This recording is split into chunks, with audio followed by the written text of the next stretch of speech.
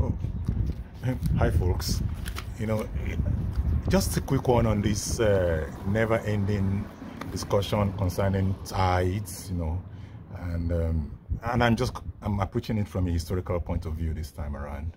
Now, of course, in the Old Testament, uh, tithes was a requirement. It was actually the equivalent of the tax, and I'll do that in the in the next one.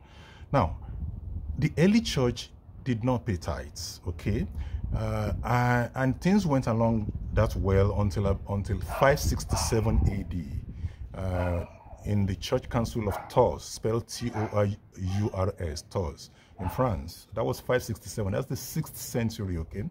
And then uh, that was confirmed in 585 AD at the Third Council of Macon. And I'm reading here, uh, which at that particular council prescribed excommunication for those who are non-compliant for uh, with tithe payment because the church, the Roman church, the Western church at the time, needed to pay uh, the clergy and they needed support. So, uh, and uh, in that, in the particular documents uh, uh, of that conference, and I'm reading here, it says, the that that conference recognized that in truth, that tithes had not been paid in ancient times. That is in, in the preceding six centuries, had not been paid in the ancient times. But it also says that in its time, they were no longer being paid. So the early church didn't pay it, and in the sixth century, the Christian church was not paying, but they were now bringing it back and they were putting excommunication in place to punish those who were not paying.